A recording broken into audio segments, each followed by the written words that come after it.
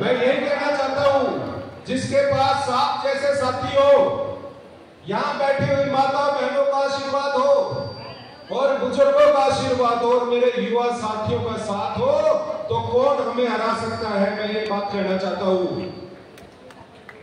आप लोगों को पता है कि जींद के अंदर इतना भ्रष्टाचार हो रहा था तो कौन आवाज़ उठा रहा था? दस साल आपका भाई आवाज़ उठा रहा था। जब आप कमेटियों में जाते थे,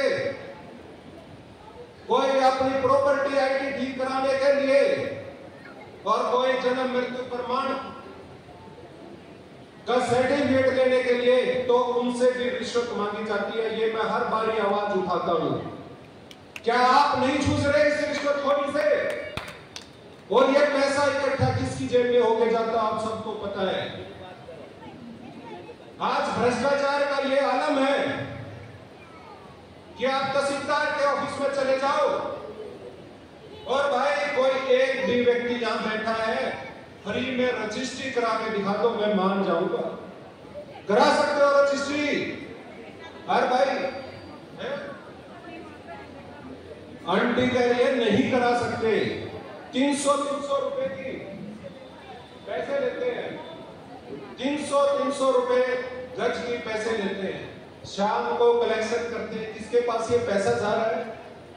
ये तो ईमानदारी की बात करते थे। मैं ये कहता कि इनसे भ्रष्ट सरकार कोई हो ही नहीं सकती। तभी तो खट्टर साहब को हटाना पड़ा, चुनाव से ठीक पहले।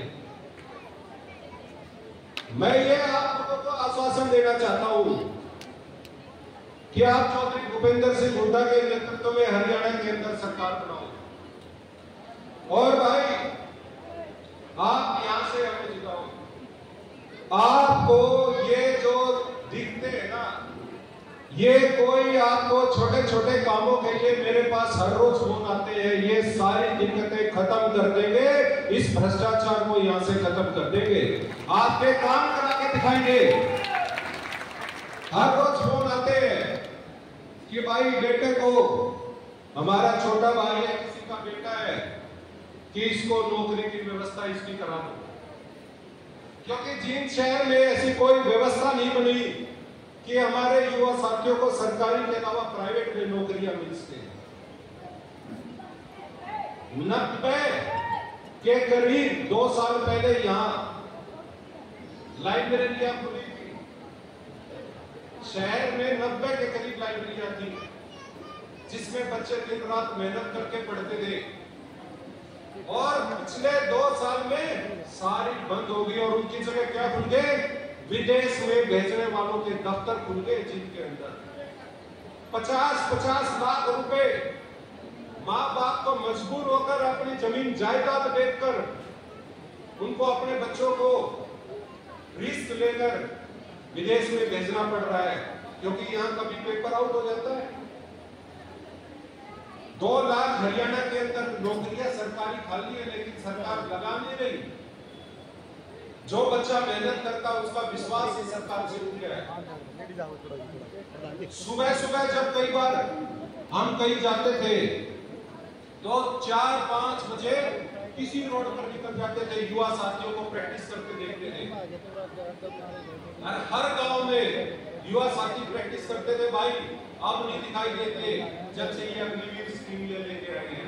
अब वो साथी नहीं दिखाई देते। क्योंकि पूरे दंतर से लोगों का विश्वास मिल चुका है। मैं तो साथियों ये कहना चाहता हूँ